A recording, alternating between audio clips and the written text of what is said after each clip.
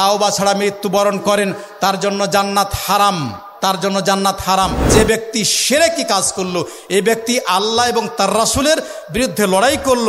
বারো আউলিয়ার এলাকাতে গিয়ে তারা সেখানে সিজদা করে, কেউ সেখানে নজর মানে এই যে আপনার অংশী স্থাপন হয়ে গেল, সেরে কি কাজ করল?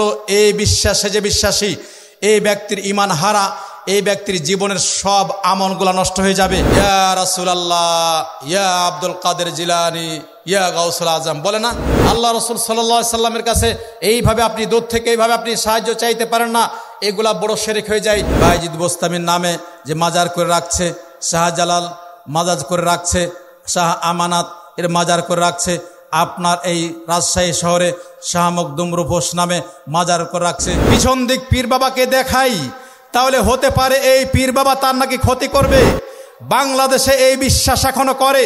এইগুলা বড় সেরেক। আপনার কল্যাণের জন্য আপনাকে আমি বলছি এই সমস্ত বড় সেরেক থেকে আপনি ত্যাগ করে কল্যাণের পথে আসুন। আহলেদিস আন্দোলন বাংলাদেশ। আসুন পবিত্র কুরআন ও সহি হাদিসের আলোকে জীবন গড়ি। আসসালামু আলাইকুম ও রহমতুল্লাহ الحمد لله وحده والصلاة والسلام على من لا نبي بعده. أعوذ بالله من الشيطان الرجيم. بسم الله الرحمن الرحيم.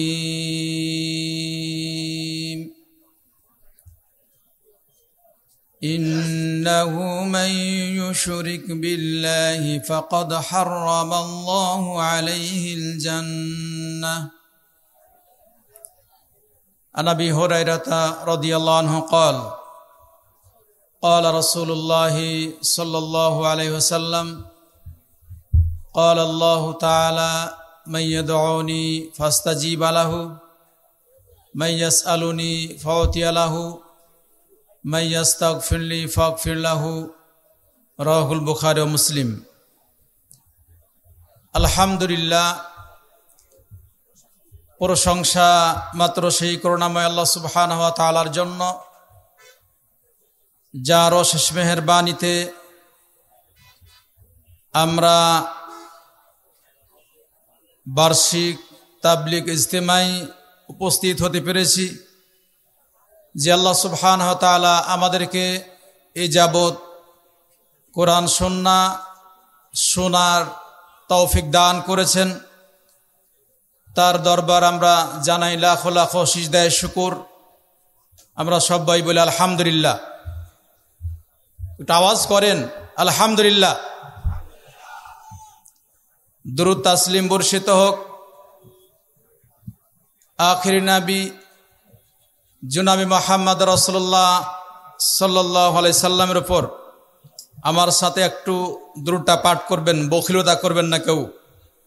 আল্লাহ সাল্লি আলা মোহাম্মদ আলা আলী মোহাম্মদ, কামা সাল্লাই তালা ইব্রাহিম ওয়ালা আল ইব্রাহিম, ইন্নাকা হামিদুম মজিদ।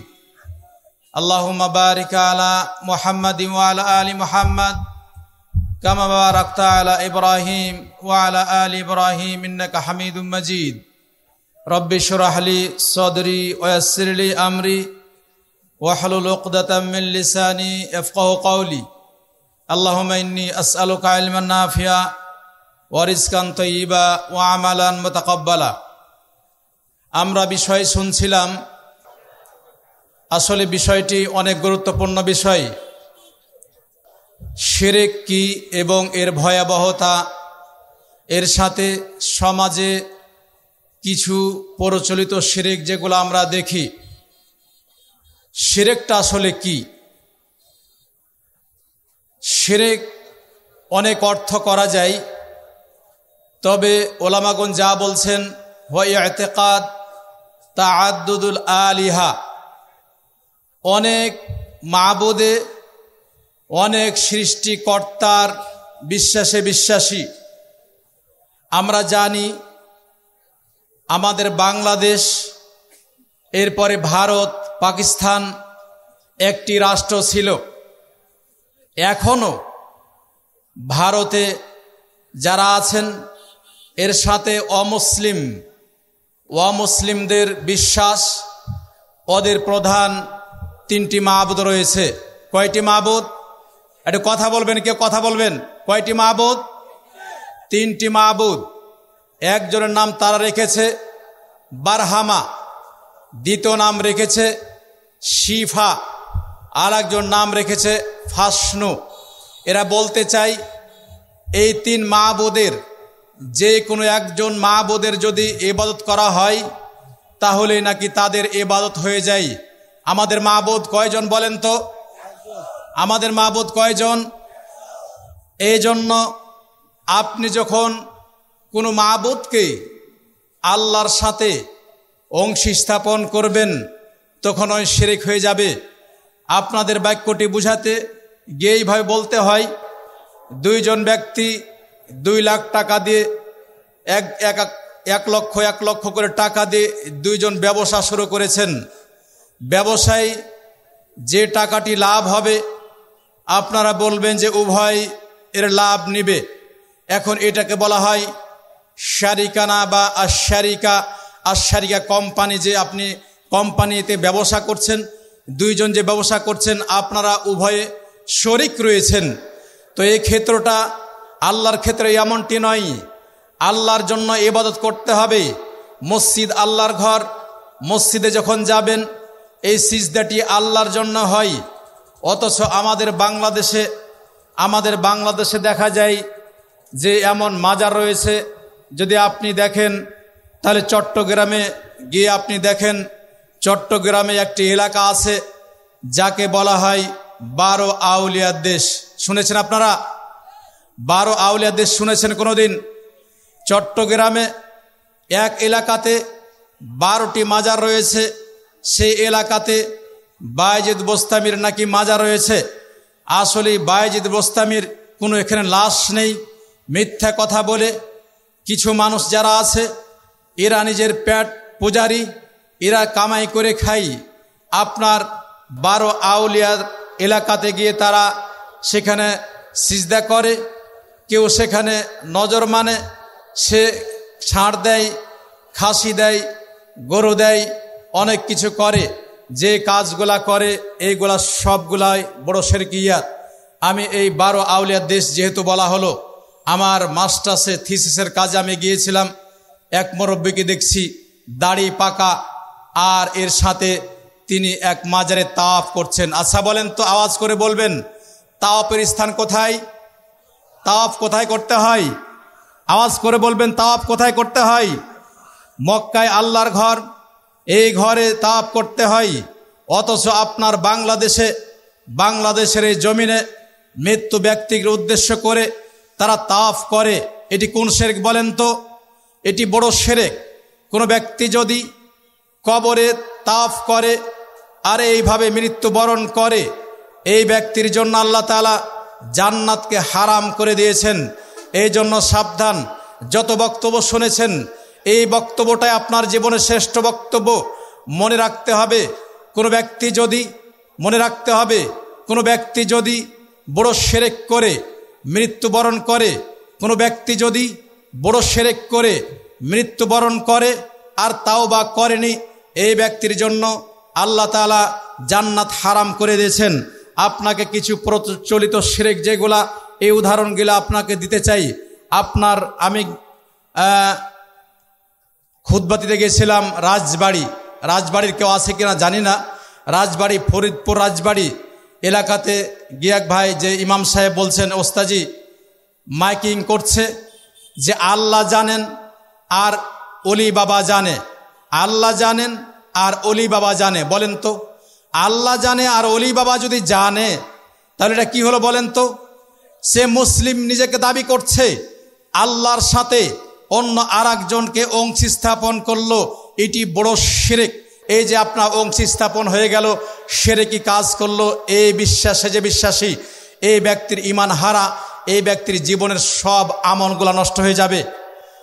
আর একটি উদাহরণ, আমাদের বাংলাদেশে এখনও কিছু মানুষ রয়েছে যারা নিজেকে আওলাদের রাসুল দাবি করে। ওরা আওলাদের রাসুল নাকি বাংলাদেশে আছে? বাংলাদেশে এই আওলাদের রাসুল এরা আল্লাহ রসুল সাল্লাহ সাল্লামের কবরের কাছে গিয়ে এরা নাকি সালাম দেয়, সালাম দিলে হাতে তাদের সাথে নাকি মোসাফা করে। এক ইমাম সাহেব যিনি বাংলাদেশে চট্টগ্রামে, তিনি বলছেন যে আমি প্রায় সাত বছর যাবৎ ইমামতে করেছি চট্টগ্রামে।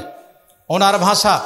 এরপরে তিনি মদিনাতে সাত বছর সেখানে তিনি ছিলেন। আমি এক এলাকাতে ইসলামী সেন্টারে দাওয়াতি কাজের জন্য প্রত্যেক সপ্তাহে একদিন যেতাম। তো হঠাৎ করে আওলাদের রসুল বাক্যটা আসলো। তো আওলাদের রসুল বাক্য আসলে উনি বললেন যে হ্যাঁ আওলাদের রসুল আমাদের বাংলাদেশ থেকে আওলাদের রসুল এসেছিলেন।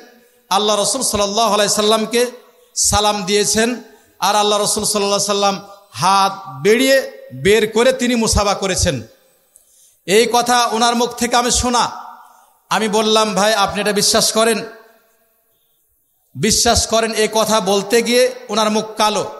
আর যারা এমনি সাধারণ জনগণ ছিলেন, ওনারা হাসতে লাগলেন, দেখো। উনি বলছেন, দেখো, ইমাম সাহেব কি বলছে? এই যে ইমাম সাহেব, আমি বললাম, আপনি যদি এই বিশ্বাস করেন, যে কোনো আওলাদের আসুল দাবি করে, নিজেকে আওলাদের আসুল দাবি করে, দাবি করার পরে এই দাবিও করে, যে সে আল্লাহ রসুল সাল্লাহ আলাইসাল্লামকে সালাম দিয়েছেন এই কবরের পাশে এসে, আর তিনি তার সাথে হাত বের করে মোসাফা করেছেন। তাহলে এই বাক্যতে তাকে দিন থেকে বের করে দেয় এটা সব থেকে বড় সেরেক। তার মানে ও আল্লাহ রসুল সাল্লাহ আলাইসাল্লামকে জীবিতভাবে আপনি কি এই দাবি করেন যে আল্লাহ রসুল সাল্লাহ আলাইসাল্লামকে আপনি আবু বকর রদিয়াল্লাহ তালাহ ওই সময় বেঁচেছিলেন? ও উমার বিন খাত্তা বেঁচেছিলেন? তার দুইজন জামাতা বেঁচেছিল? যে ওসমান বিন আফফান, আলী রদিয়াল্লাহ তালাহ উভয় এরা বেঁচেছিলেন এরা কি তার শ্বশুর এবং এরা যে তার জামাতা, উভয় কি তার মানে যেমন আউ বকর রদিয়াল্লাহ তালা আনহু, ইনার আল্লাহ রসুল সাল্লামের শ্বশুর আউ বকর আর ওমার, এর সাথে তার জামাতা আছে ওসমান আর আলী রদিয়াল্লাহ আনহুম। এরা কি আল্লাহ রসুল সাল্লাহ আলাইসাল্লামকে জীবিত কবর দিয়েছিলেন নাকি? আসলে কি তাই? আপনার বাংলাদেশে এখনও কিছু মানুষ আছে যারা এই বিশ্বাসে বিশ্বাস করে। তার মানে এই বিশ্বাসে বিশ্বাস করে। আর এই জন্যই তারা বলে যে আল্লাহ রসুল আলাইসাল্লাম জিন্দানাবি তিনি কবরে জীবিত আছে। এই জন্য রসুল সাল্লাহ আলাইসাল্লামের কাছে তারা গিয়ে সেখানে এমন কি, তারা আল্লাহ রসুল সাল্লাহ সাল্লামের কাছে ডাইরেক্ট গিয়ে তারা সাহায্য চাই। তাই যে সেরেকগুলা আপনার বাংলাদেশে হচ্ছে, অনেক সময় দেখবেন অনেক ব্যক্তি আছে, ওরা কথায় ইয়া আল্লাহ না বলে, কথায় কথায় বললে, ইয়া রাসুল আল্লাহ ইয়া আব্দুল কাদের জিলানি, ইয়া গাউসুল আজম, বলে না? অনেক ব্যক্তি আছে, এই যে আপনি বললেন, ইয়া গাউসুল আজম, তার মানে আপনি উদ্দেশ্য আপনার আব্দুল কাদের জিলানি, উদ্দেশ্য যে আব্দুল কাদের জিলানি বড় পীর নামে উদ্দেশ্য, এই যে তার কাছে সাহায্য চাচ্ছে, যদি আপনি বলেন, ইয়া রাসুলাল্লাহ, তার মানে ইয়া রাসুল্লাহ বলা মানে আল্লাহ রসুল সাল্লাহ কাছে আপনি সাহায্য চাচ্ছেন। যেমনটি ইয়া আব্দুল কাদের জিলানি আপনি বলতে পারেন না অনুরূপী আপনি এখান থেকে ইয়া রাসুল্লাহ বলে আল্লাহ রসুল সাল্লাহ সাল্লামের কাছে এইভাবে আপনি দূর থেকে এইভাবে আপনি সাহায্য চাইতে পারেন না। এগুলা বড় শেরেক হয়ে যায়। সমাজে এই শেরেকগুলা প্রচলিত রয়েছে, কিন্তু তিনি মনে করছেন এটা ভালো কথা। আপনি বলবেন কি করে? এই বিপদ আপদে পড়লে আল্লাহ রসুল সাল্লাহ সাল্লাম ডাইরেক্ট আল্লাহকে ডেকেছেন, ইয়া হাইয়ু, ইয়া কয়ুম বির রহমাতিকাস্তাগিস আল্লাহ রসুল সাল্লাহ সাল্লাম যখন চিন্তিত হয়ে পড়তেন, কোনো বিষয় তিনি চিন্তিত হয়ে পড়লে আল্লাহকে এইভাবে ডাকতেন, ইয়া হাইয়ু, ইয়া কয়ুম বির রহমাতিকাস্তাগিস হে আল্লাহ, তুমি চিরঞ্জীব, তুমি সবার রক্ষণাবেক্ষণশীল, বিধায় তোমার রহমতের সাহায্য চাচ্ছি। এই জন্য সমাজের শেরকিয়াত কাজগুলো আছে, বড় সেরেক হচ্ছে। আপনার বাংলাদেশে আপনি দেখবেন বাইজিদ বোস্তামির নামে যে মাজার করে রাখছে, শাহজালাল মাজাজ করে রাখছে, শাহ আমানাত এর মাজার করে রাখছে, আপনার এই রাজশাহী শহরে শাহ মকদুম রুফোস নামে মাজার করে রাখছে। আমি আপনাকে বলতে চাচ্ছি, নিজের চোখে দেখা, আমার মাস্টার্স থিসিসের ওই সময় আমি গিয়েছিলাম, একজন মুরব্বীকে দেখছি, দাড়ি পাকা, চুল পাকা আর সাদা পাগড়ি। সাদা পাগড়ি, তার সাথে মনে হয় আরও ৩০ জন ব্যক্তি আছে। তিনি এত যে কাঁদছেন, সব পীর মাসাইকের নাম নিচ্ছেন, আর এমন কাদা কাঁদছেন, আমার মনে হয় জীবনে তিনি আর আয়াত এর থেকে বেশি কাঁদেননি। সবাই হু হু করে কাঁদছে। তার মানে সবাই পীর বাবার কাছে, ওদের যা মনের আশা, আকাঙ্ক্ষা রয়েছে, সবগুলো চাচ্ছে। এই যে চাচ্ছে, এটা হলো বড় সেরে এই জন্য আপনার এই থিমে প্রচলিত যে সেরেকগুলা বড় সেরেক হচ্ছে, মাজারের কাছে গিয়ে কেউ সিজদা করছে, কেউ আবার নজর মানছে, কেউ আবার উরুস শরীফ বলে, উরুস শরীফ বলার কারণে কেউ বড় বড় ষাঁড় সেখানে ওই মাজারের উদ্দেশ্যে দিচ্ছে আর জবাই করছে, আবার কেউ ভয় করছে পীর বাবাকে ঢুকছে সোজা হয়ে। দেখবেন মাজারে ঢোকে সোজা হয়ে, আবার বের হয় সোজা হয়ে। তার মানে উদ্দেশ্য কি বলেন তো? উদ্দেশ্য কি? পীর বাবা তার ক্ষতি করবে উদ্দেশ্য তার এই তার ভয় যে যদি আমি পিছন দিক পীর বাবাকে দেখাই, তাহলে হতে পারে এই পীর বাবা তার নাকি ক্ষতি করবে। বাংলাদেশে এই বিশ্বাস এখনও করে। এইগুলা বড় সেরেক। এই সেরেক করে কেউ যদি মৃত্যুবরণ করে। এদের ক্ষেত্রে আল্লাহ তালা বলছেন, এদের জন্য জান্নাত হারাম। আল্লাহ তালা বলছেন বিল্লাহ জান্নাহ। যে ব্যক্তি এ বিশ্বাস করে মৃত্যুবরণ করবে, আর এই আকিদে নিয়ে এই বিশ্বাস করে, এই আমল করবে, এর জন্য আল্লাহ তালা জান্নাতকে হারাম করে দিবেন। এই জন্য কেউ যদি এই ইজতেমাতে অথবা এই আওয়াজ যে পর্যন্ত যাচ্ছে যারা শুনছেন, আপনি আমার দিনী ভাই, অথচ আপনি এই কাজগুলা করেন, যে যেখান থেকে শুনছেন, যে সমস্ত মাজারি ভাইয়েরা এখনও কবর পূজারে ব্যস্ত আছেন, আপনার আমি দিনী ভাই, আপনার কন্যার জন্য আপনাকে, আপনার কল্যাণের জন্য আপনাকে আমি বলছি, এই সমস্ত বড় সেরেক থেকে আপনি ত্যাগ করে কল্যাণের পথে আসুন।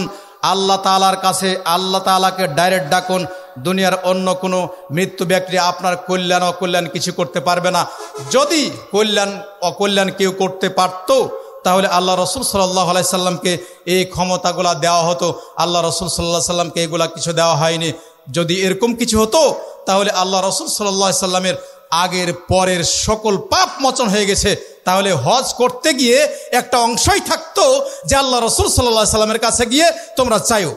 এটা নাই, বরং রসুল সাল্লাহ সাল্লামের কবরের পাশে দেখবেন আলে মোলামা সেখানে দাঁড়িয়ে আছে, পুলিশ আছে, কারণ যাতে কোনো ব্যক্তি সেরে সেরেকিয়াত কোনো কাজ না করতে পারে এই জন্য তারা সেখানে দাঁড়িয়ে থাকে। মুসলিম জাতিকে হেফাজত করার জন্য তারা দাঁড়িয়ে থাকে। অথচ আপনার বাংলাদেশ প্রায় বাংলাদেশে আপনার বলা যাবে যে পঁচাশি অথবা নব্বই পার্সেন্ট মুসলিম, এ মুসলিম জাতি হয়ে এরা মানুষের মানুষের পূজা করতে পারে কি করে?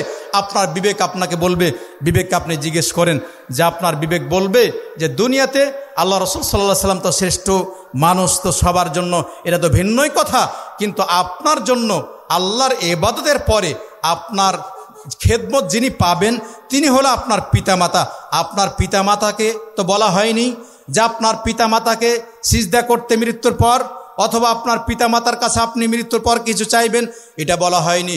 বরং মৃত্যু ব্যক্তির জন্য আপনি দোয়া করবেন, তাদের কিছু তাদের জন্য দান করবেন, সাদকা করবেন, তাদের জন্য কল্যাণ চাইবেন। অথচ এর উল্টা হচ্ছে, বাংলাদেশের মুসলিম এরা কবর পূজা করছে, বরং আরও আপনার এই বাংলাদেশে কিছু মানুষ আছে, লালন ফকিরের গ্রুপ আছে, এরা সারা রাত গান বাজনা করে।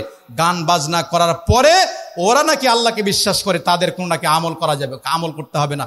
ওদের নাকি সাধু বাবা আছে, ওদের নাকি ঠাকুর বাবা আছে। সাধু বাবা সাধু বাবা কথা বলে অমুসলিমরা, অমুসলিমদের কৃষ্টি কালচার আপনার জীবনে নিয়ে এসে আদৌ কোনো মুসলিম দাবি করে সে মুসলমান থাকতে পারে না। এই জন্য বাংলাদেশে যারা কবর পূজার নিয়ে ব্যস্ত আছেন তারা আপনার, আপনাদের বলতে চাই, দিনী ভাই, এই কাজগুলো আপনি ত্যাগ করুন। আপনার জন্য কল্যাণ হবে। নজেদ পরকাল আপনার জন্য কঠিন ও জটিল। আমাদের সমাজে আরও কিছু সিরকিয়াত বিষয় আছে, দেখবেন, যে আপনার গলায় মনে হয় কেউ তাবিজ পরে আছেন। আল্লাহ রসুল সাল্লাহ সাল্লাম তাবিজ পরা সম্পর্কে বলছেন মানে আল্লাহ কাতামি মাতান ফকাদ আশরাকা। তাবিজ ঝোলাই, তাবিজ, কিছু তাবিজ আছে।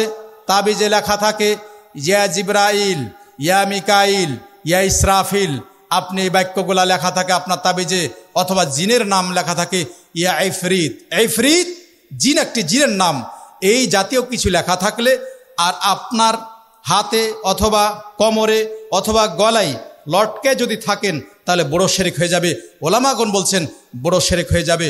আর একটা দ্বিতীয় নাম্বারে তাবিজ পরে যদি আপনি বলেন, তাবিজটাই আপনার সকল বালা মুসিবত দূর করে দিবে। তাহলে বড় শেরেক হয়ে যাবে। তৃতীয় নাম্বারে যদি মনে করেন, তাবিজটা পড়েছেন, অসুখ হয়েছে, তাই তাবিজ পড়েছেন। এটা একটি কারণ হিসাবে মনে করলে ছোট শেরেক হবে। যা হোক, তাবিজ পড়া যাবে না। তাবিজ পড়া ব্যবসা, আপনার বাংলাদেশে কিছু নামধারী দিন বিদ্যান, তারা দাবি করে, তারা বিদ্যান নাকি?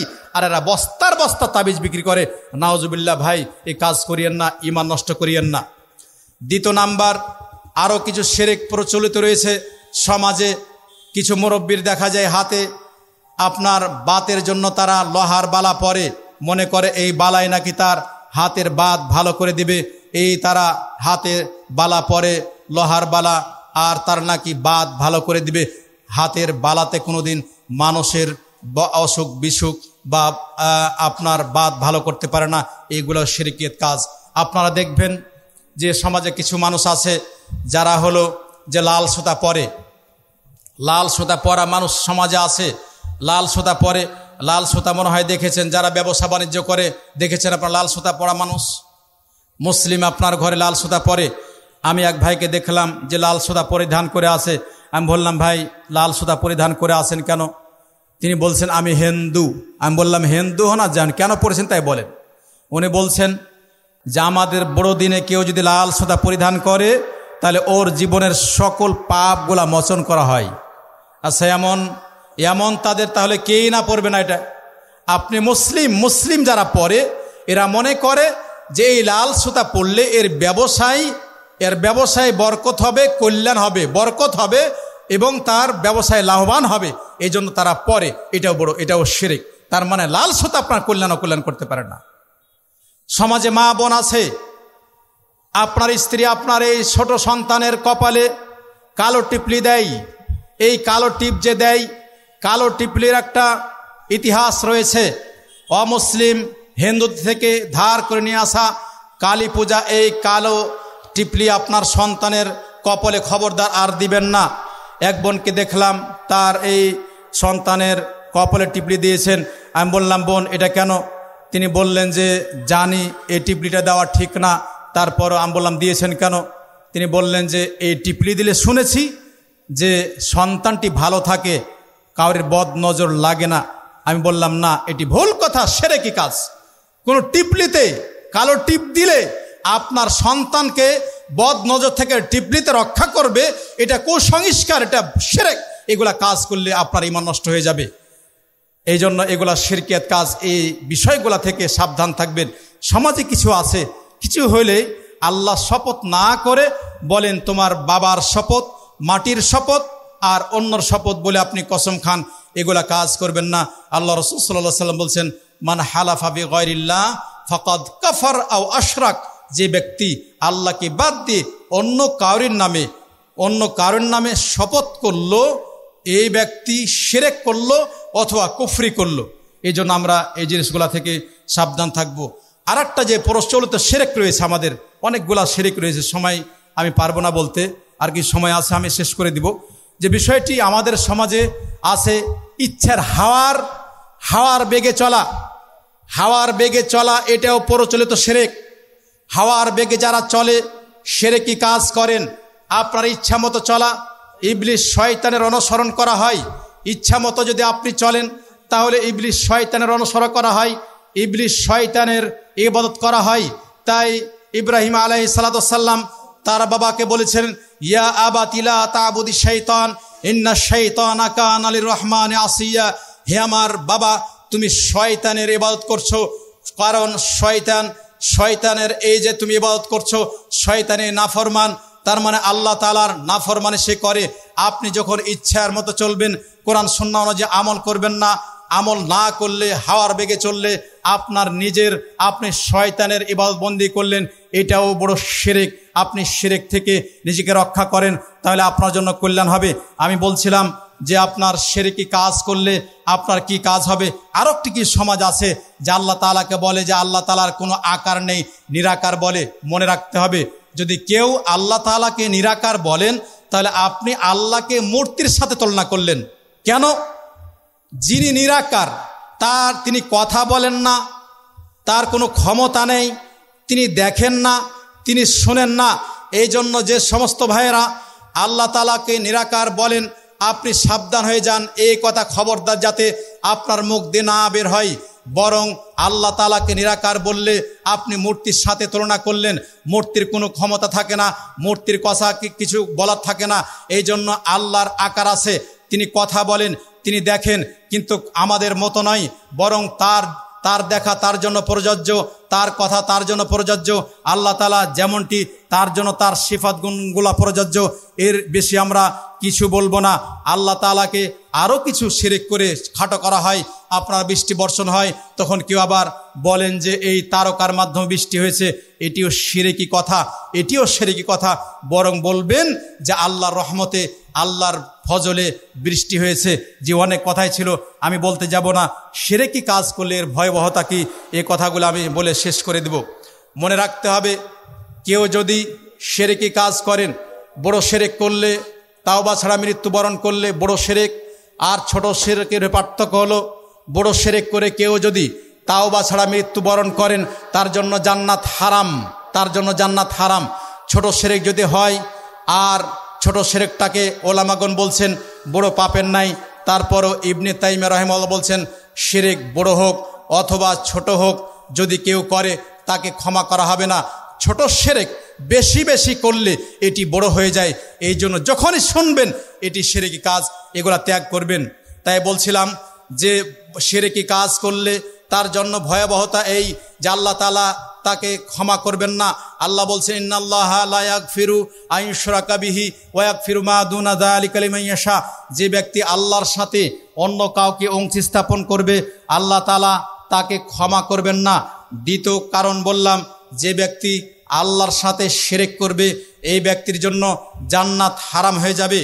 তৃতীয় নাম্বারে, যে ব্যক্তি আল্লাহর সাথে অন্য কাউকে অংশী স্থাপন করবে, আল্লাহ তালা তার জীবনের সমস্ত আমল বরবাদ করে দিবেন। তাই আল্লাহ রসুল সাল্লাহ সাল্লামকে ডাইরেক্ট আল্লাহ তালা বলছেন, লাইন আশরক্তা লাইহবাতন্না আমালুকা ওয়ালাতা কুনান্না মিনাল খাসরিন। হে নবী, তুমি যদি আল্লাহর সাথে অন্য কাউকে অংশী স্থাপন করো, করতে তাহলে তোমার জীবনের সমস্ত আমলগুলা বরবাদ হয়ে যেত। এরপরে চার নম্বরে আল্লাহর চার নম্বরে ভয়াবহতা বলা হয়েছে, কেউ যদি আল্লাহর সাথে সেরেক করে, তাহলে এই ব্যক্তির জন্য আল্লাহ রসুল সাল্লাহ সাল্লাম সুপারিশ করবেন না। যে ব্যক্তি আল্লাহর সাথে অন্য কাউকে অংশ স্থাপন করবে, এই ব্যক্তি আল্লাহ রসুল সাল্লাহ সাল্লামের সুপারিশ পাবে না। তাই আবু হরাইরা বলছেন রসুল্লাহ সাল্লাহ সাল্লাম বলেন, হে আল্লাহ রসুল সাল্লাহ সাল্লাম আপনার সুপারিশ পেয়ে কে ধন্য হবে? তিনি বললেন, যে ব্যক্তি অন্তর থেকে বলবে, আল্লাহ ছাড়া কোনো সত্য মাহবুদ নেই। এই ব্যক্তি আমার সুপারিশ পেয়ে ধন্য হবে, তাই মনে রাখতে হবে, যে ব্যক্তি সেরেকের সাথে জড়িত, এই ব্যক্তির জন্য রসুল্লাহ সাল্লাহ সাল্লাম সুপারিশ করবেন না। পাঁচ নম্বরে, যে ব্যক্তি সেরেকি কাজ করবে, এই ব্যক্তি কিয়ামতের দিন আল্লাহ রসুল সাল্লাহ সাল্লামের হাউজে কাউসারের পানি পান করতে পারবে না। ছয় নম্বরে, যে ব্যক্তি সেরেকি কাজ করবে এই ব্যক্তি আল্লাহ এবং তার রাসুলের বিরুদ্ধে লড়াই করল। যে ব্যক্তি সেরেকি কাজ করল এই ব্যক্তি আল্লাহ এবং তার রাসুলের বিরুদ্ধে লড়াই করল। সাত নম্বরে এখানে বলছেন যে সাত নম্বরে, যে উম্মাতের ভিতরে মতনক্য সৃষ্টি হয়ে যায়। উম্মাতের ভিতরে ফিতনা সৃষ্টি হয়ে যায়।